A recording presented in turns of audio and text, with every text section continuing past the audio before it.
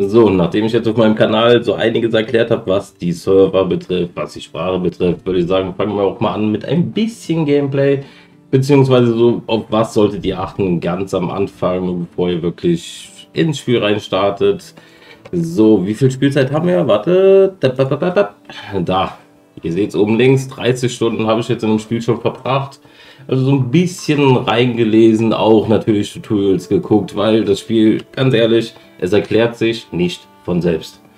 Also du hast zwar deinen Rahmen hier am Anfang, auf den gehen wir gleich auch ein, aber im Prinzip so direkt wird, du kriegst zwar erklärt, ja, da ist ein neues Rezept, aber sonst musst du eigentlich ziemlich alles selbst herausfinden. So, ich würde sagen, wir gehen auch direkt mal zum Rahmen hin. Was hat er uns zu erzählen? Ich bin Hugin. Hugin. Wer den Namen erfunden hat, weiß ich auch nicht. Ich wurde an diesem Ort gesendet, um dich zu führen. Die dich umgebenden Megaliten sind Opfersteine. Sie repräsentieren all die Wächter, die, äh, die zu bezwingen. Was die du bezwingen musst, um dich Valhallas würdig zu erweisen. Also, wir müssen ey, halt andere Götter quasi hinter uns bringen, bis wir endlich nach Valhalla dürfen. Das sind dann 1, 2, 3, warte, 1, 2, 3, 4, 5. Also fünf Götter töten, dann dürfen wir nach Valhalla. Aber bis dahin kann ich jetzt schon sagen, ein langer Weg. So, hier führt er uns zum nächsten Stein hin. Diese magischen Steine wurden durch Odin über den Ländereien verstreut. Also heißt, überall findet ihr immer wieder genau diese, ich nenne sie jetzt einfach mal Steine, die rot leuchten. Also man sieht es auch von Weitem. Man findet die auch in Ruinen etc. Aber dazu kommen wir später. So, was zeigt er uns an? Genau, halt, den, den Namen komme ich auch nicht klar. Eiktür. Ich nenne ihn Eiktür. Wenn irgendeiner weiß, wie er besser heißt, gerne in die Kommentare reinschreiben. Also, da müssen wir hin. Da werden wir unseren ersten großen Gegner also finden. Aber dazu erstmal auch später, weil wir sind ja gerade erstmal angekommen. So, der ist schon mal registriert. Ach Gott, da kommt schon das erste Schwein angerannt. Mit Linksklick äh, können wir angreifen. Und wir kriegen, da seht ihr, einfach nur ein neuer Gegenstand. Und wie schnell war das weg? Hat es einer mitgelesen? Genau. Wie kommen wir dahin? Einfach auf den Tab. So. Jetzt bin ich gerade selber im Überlegen. LOL. Lost. Also, aber, was haben wir noch liegen? Äste. Und erstmal Holz mit, wie ihr seht, neues Material Holz, neue Anleitung. Wie heißt das Ding? Ach, da ist es ja. Eine Keule. Holen wir uns noch einen Stein mit. Zack, neues Material Stein. Neue Ein Anleitung. Einleitung. Anleitung. Steinaxt, Keule, Hammer. So. Aber hier liegt noch mehr rum. Erstmal am Anfang würde ich echt jedem empfehlen, sammelt erstmal alles auf. Alles, was wir finden, aufheben. Weil am Anfang kann man wirklich alles gebrauchen. So, aber da uns das Schwein ja eben schon angegriffen hat, wäre es eigentlich ganz gut, wenn wir uns erstmal eine Keule erstellen. Wir sehen hier unten, ich würde es gerne herstellen, geht aber noch nicht, denn wir müssen sechs Holz haben. Also entweder geht ihr hin, sammelt halt sechs Holz vom Boden, da oben haben wir zum Beispiel nochmal einen Ast. Schneller laufen ist, wie nennt sich die Taste? Shift. Ist über der STG-Taste, falls ihr die nicht findet, da ist sie. So, nächsten Ast aufheben, da ist schon wieder unser, unser netter Rabe. Die meisten Objekte müssen hergestellt werden. Da du Midgard allerdings kürzlich verlassen hast, musst du dich an die wahre Form von Objekten zunächst erneut erinnern. Heißt, wir sind eigentlich, ja, man mag es fast nicht aussprechen, wir sind dumm. Wir wissen eigentlich gar nichts. Also müssen wir alles neu erlernen. Hebe einfach alles auf, was du findest. Ja, habe ich eben schon gesagt. Und es fällt dir schon wieder ein. Mein kleiner Bruder Munin sagt mir, dass sich mit Hilfe von Holz und Stein eine Steinaxt herstellen lässt. So, dann gehen wir wieder auf die Tab-Taste. Steinaxt. Fehlt uns auch Holz. Also wie ihr seht, man braucht viel, viel Holz. So, dann haben wir hier zum Beispiel einen großen, ne, eine große Buche. Schlagen wir gegen. Passiert gar nichts. Außer dass wir unbewaffnet leveln, aber da kommt auch schon direkt der nächste Rabe angeflogen. Du hast etwas zu essen gefunden. Ich habe was zu essen gefunden? Ah, doch, das Schwein. Verzehre es, um dein Leben und deine Ausdauer wiederherzustellen. Bedenke, dass es nicht lange dauern wird, bis du hungrig wirst. Daher solltest du immer einige Nahrungsmittel mit dir herumtragen. Aber, wir können es ausprobieren. Rechtsklick auf das rohe Fleisch. Es passiert nichts. Aber ich sehe da unten schon Bären. So, Fähigkeit Rennen. Hat sich auch verbessert. Da können wir auch mal ganz schnell drauf eingehen. Zack, das sind die Trophäen. Fähigkeiten. Wie ihr seht, bis jetzt haben wir halt unbewaffnet. Das war da, wo wir gegen Baum geschlagen haben. Keulen ist schon da, aber wir haben ja noch keine Keule hergestellt, also können wir da auch noch nichts machen.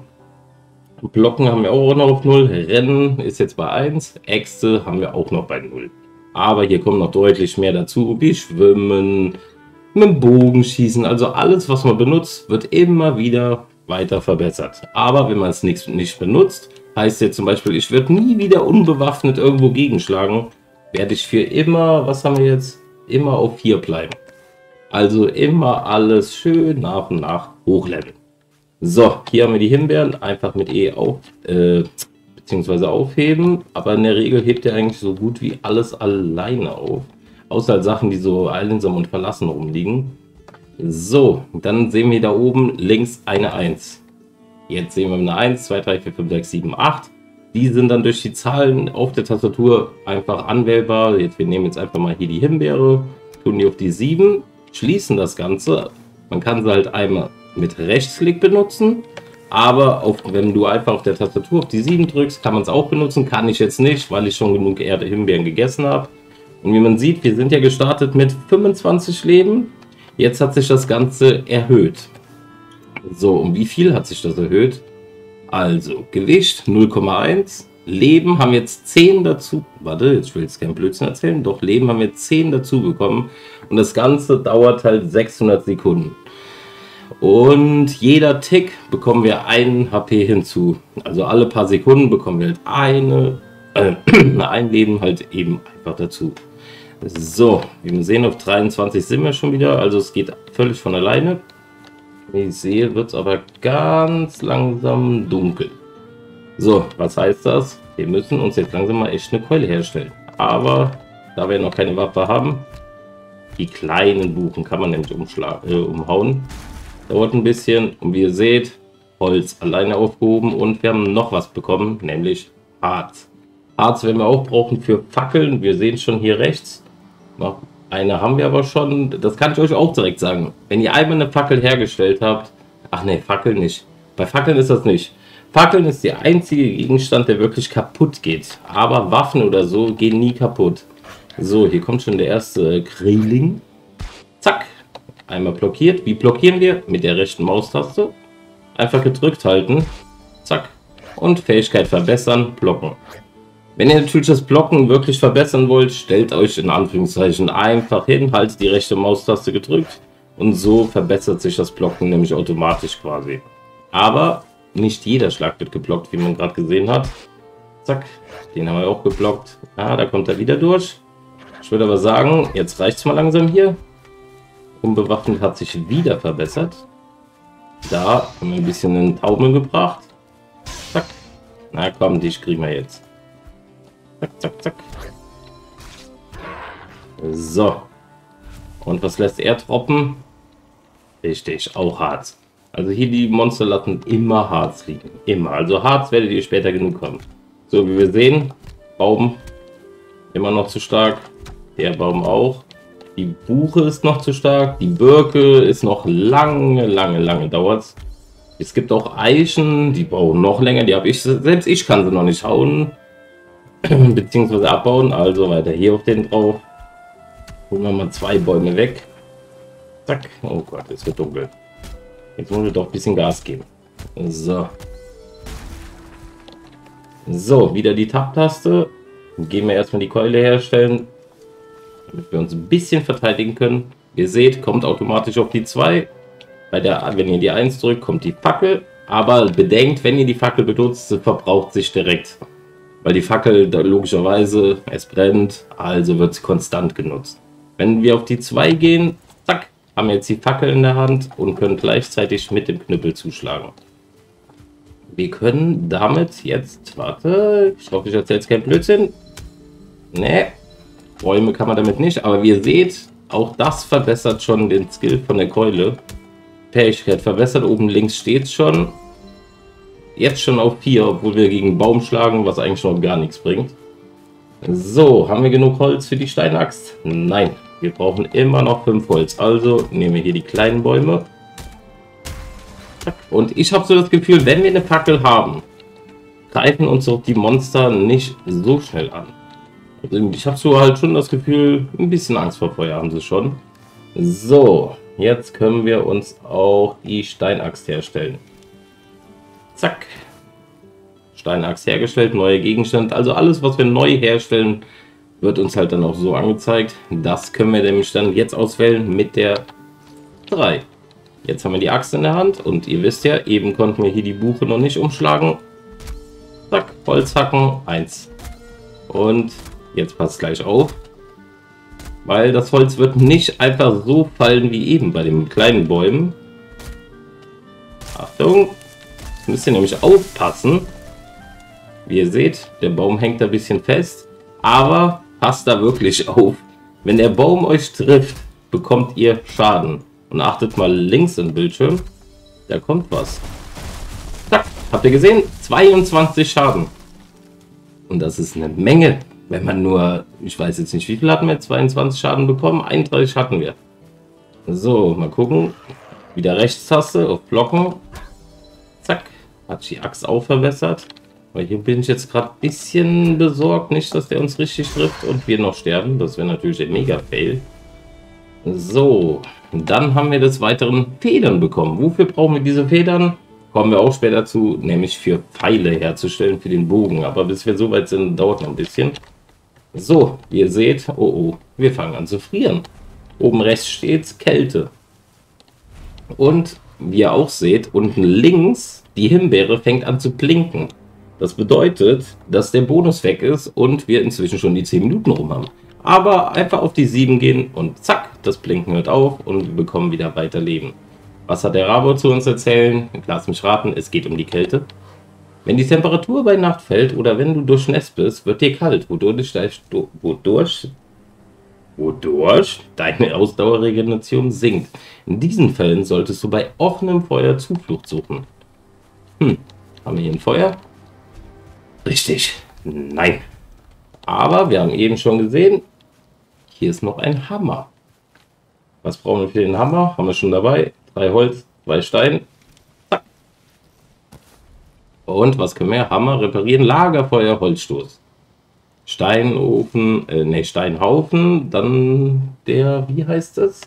So, wir machen es aber ganz einfach. Wir legen uns die, den Hammer immer, also ich habe ihn am liebsten auf der 8. Weil die 8 benutze ich eigentlich so gut wie nie, außer ich bin halt wirklich am Bauen.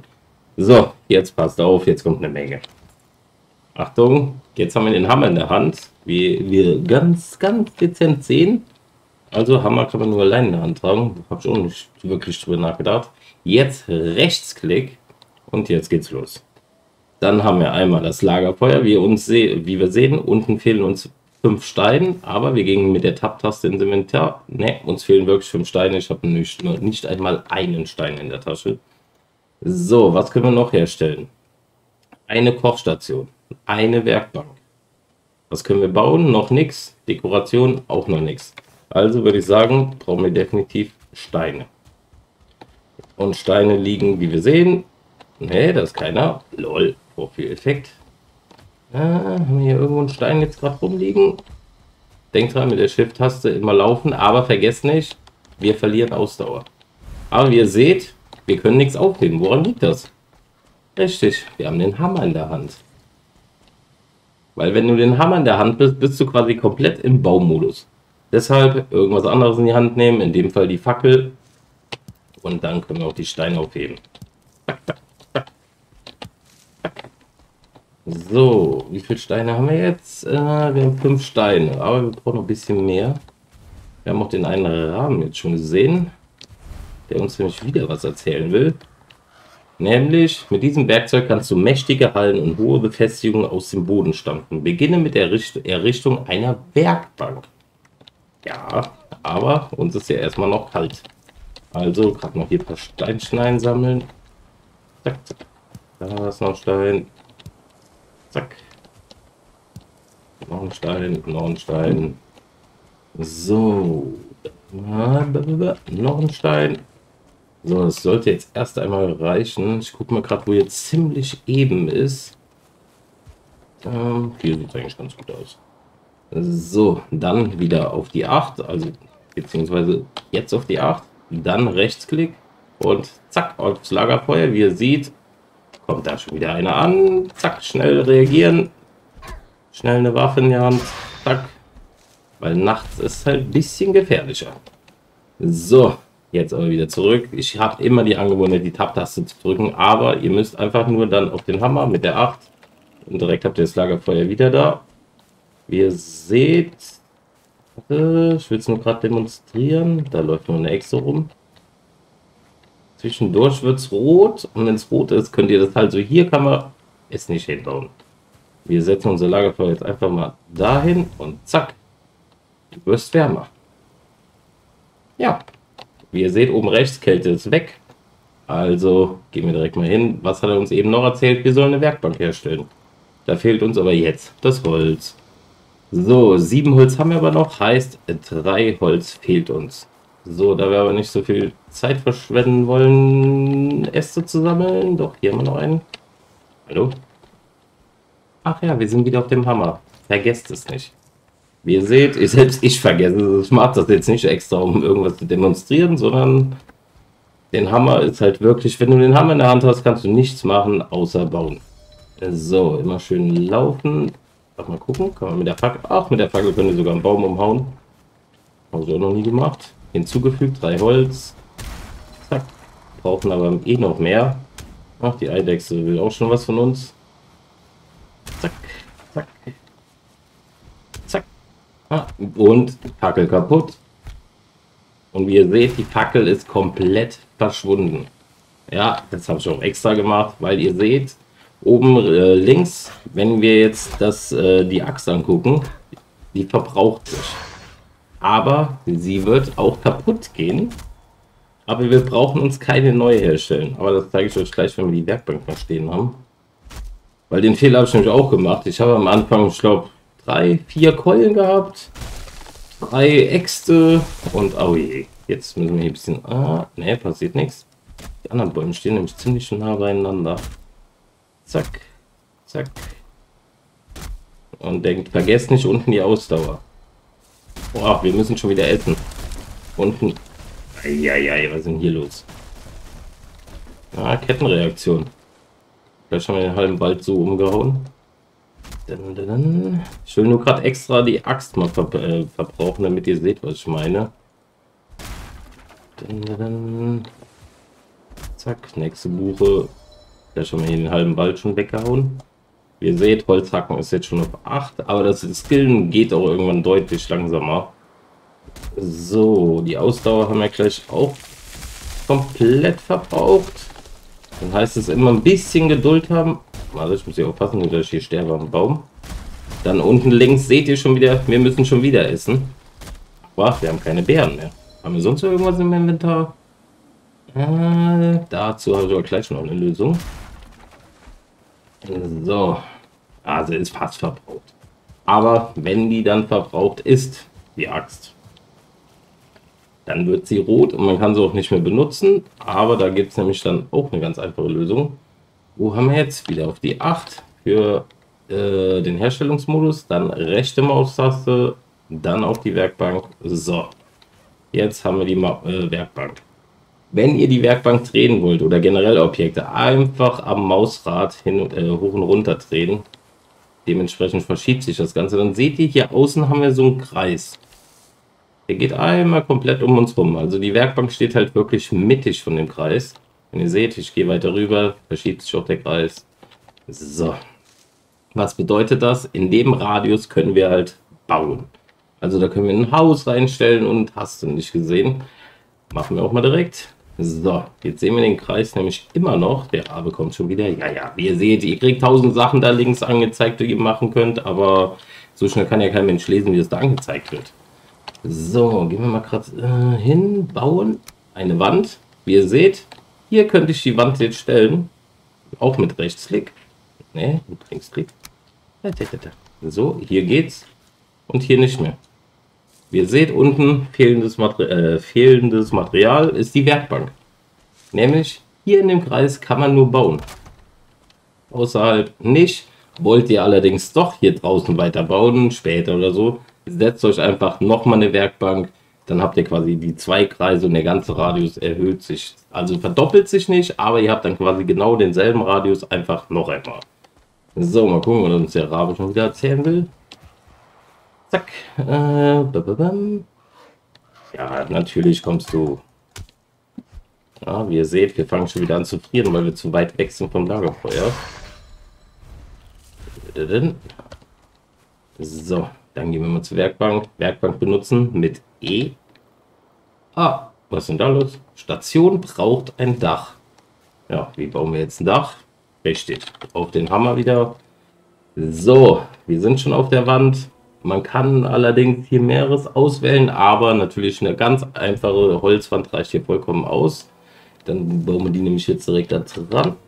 Einmal. Ach Gott, jetzt, jetzt fangen die Tutor äh, der Boden nämlich an zum Problem zu werden. Aber das kriegen wir hin. Wir müssen nämlich jetzt eigentlich ganz simpel einfach nur ein Dach drüber bauen, aber ein Dach steht natürlich auch nicht alleine. Zack. Mal darum. Und zack. So, mit Rechtsklick kommen wir wieder ins Menü. Und dann haben wir einmal ein Strohdach mit 26 Grad.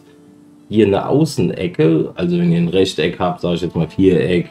Dann kann man das halt logischerweise als Außenecke machen. Dann haben wir noch eine Innenecke. Aber ich sage ganz ehrlich, mit Bauen bin ich selber auch noch nicht so drin.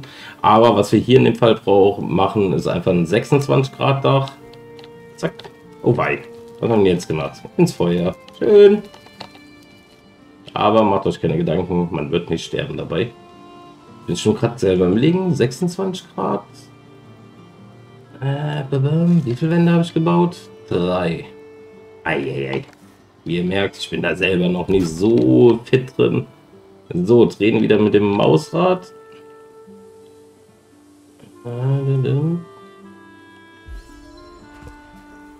Na, er will nicht. Er will nicht, wie ich will.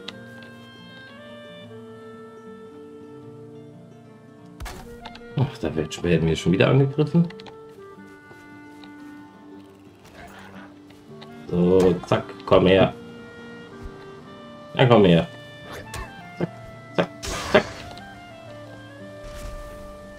So, weiter geht's. Oh Gott, wo habe ich schon da das Dach hingesetzt? Eieiei, was haben wir da gemacht? Also, wieder auf den Hammer. Wenn ihr das Ganze da zerstören wollt, einfach zack, auf das Zahnrad einmal draufklicken und schon verschwindet das Ganze wieder. Ihr kriegt die Materialien auch wieder. Hier ist irgendwie ein ganz komischer Ort zum Bauen. Eieiei. Katastrophe. Meine Frau im Hintergrund. Guck mal gerade, Was für eine Katastrophe, oder? Hübsch. Du sollst du man bei dem Lagerfeuer noch was erwähnen. Dass man verbrennen kann. Nein, dass du dich da hinsetzen sollst, damit du den Buff bekommst. Ah. Wie setzt man sich hin? Auf X. Oh. Meine Frau weiß gut Bescheid. Spielt weniger als ich. So. Tab-Taste raus. Ich, ich hasse das im Baumenü, ne? Wie kommst du immer aus dem Baumenü raus? Ja. Stimmt. Mir selber gesagt. Ich weiß, ich sag dir immer was und vergiss dann selber.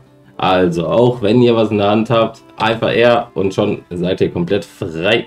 Aber was hat meine Frau gesagt? Hinsetzen mit X, X, X, X, X. Und setzen wir uns mal hin. Ah, bequem 1. Bequem 1, klar, es geht noch. Wie viel Bequemlichkeit hast du inzwischen? Hier, oder?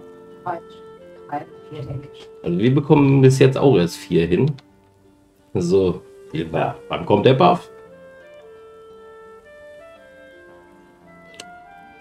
Da ist der Buff. 8 Minuten bei Bequemlichkeit von 1. Bei 4 haben wir 11 Minuten, ne? Ich meine 11. So, haben wir das auch. Können wir jetzt die Werkbank benutzen? Ja. So, ihr seht hier schon den Hammer blinken. Jetzt kommen wir nämlich zu der Axt. Die ist ja fast verbraucht. Klickt mal auf den Hammer. Zack. Keule ist komplett repariert. Jetzt ist auch die Steinaxt repariert. Jetzt ist der Hammer auch repariert, weil selbst wenn ihr was am Boden seid, auch der Hammer verbraucht sich. Aber hast du schon mal gemerkt, dass der Hammer komplett aufgelöst ist? Bis jetzt eigentlich nicht, weil der wir gerade nämlich Aber auch zu reparieren. repariere auch grundsätzlich. Also ich habe tatsächlich auch nur bequem eins und aus gut acht Minuten. Hm. Okay. So, damit habt ihr eigentlich schon den Anfang gemacht. Und jetzt könnt ihr natürlich den Hammer weiter benutzen. Ihr könnt jetzt anfangen, hier zum Beispiel einen Boden hinzusetzen. Aber da gibt es noch so viele Sachen. Aber dazu kommen wir noch irgendwann später in anderen Videos. Aber ich würde sagen, das reicht doch erstmal. So werdet ihr eigentlich zumindest mal schon mal die Nacht gut überleben. Ihr werdet nicht überfrieren. Verhungern werdet ihr auch nicht. Aber eine Sache, eine Sache wollte ich euch auf jeden Fall noch zeigen. Kleinen Moment. Zack, wo ist es? Herstellung. Richtig, die Kochstation. Wir hatten ja eben das äh, eine Schwein getötet da ganz am Anfang. Wir gehen hin, stellen das ganze Ding übers Feuer. So, dann äh, aus dem Baumenü wieder aus. Mit R. Na, Schatz. So, dann Objekt kochen. Wir drücken einfach mal E. Okay. Also er nimmt einfach das Fleisch komplett aus dem Inventar raus, hängt es hin. Ihr habt das Zischen gehört. Aber wenn wir jetzt nochmal E drücken, ah, wir haben nichts mehr in der Tasche. Und es kocht vor sich hin. Und kocht. So, wann ist es fertig? Ich kann euch nämlich sagen, mein erstes Fleisch, was ich gekocht habe, wurde erstmal zu Kohle. Ich habe nämlich Fleisch hingehangen, bin dann mal gegangen. Wie ihr seht, die Farbe hat sich verändert. Zack, einfach nochmal E und wie ihr seht oben links gekochtes Fleisch. Und jetzt passt auf. Gekochtes Fleisch gibt uns 40 Leben. Also gekochtes Fleisch gehört in meinen Augen in jedes Inventar. Also zack, Abfahrt und jetzt seht ihr schon, wie groß hier links der Balken wird. Der wird sich auch füllen bis hier oben hin. Standardmäßig haben wir 25. Fleisch gibt uns 40, also bis 65 Leben sind wir hier auf jeden Fall schon mal. Nur mit Fleisch. Also wenn ihr Schweine seht, tötet sie. Auch wenn ihr tieffreundlich seid, aber ihr braucht sie definitiv. So, damit würde ich sagen, haben wir eigentlich die Einführung soweit geschafft. Tiere töten, Bäume, tö äh, Bäume töten. Bäume abhacken, Steine sammeln. Und dann würde ich sagen, könnt ihr euch getrost ans Bauen eurer Hütte machen. Und in dem Sinne bin ich erstmal raus. Euch schon einen schönen Tag und haut rein.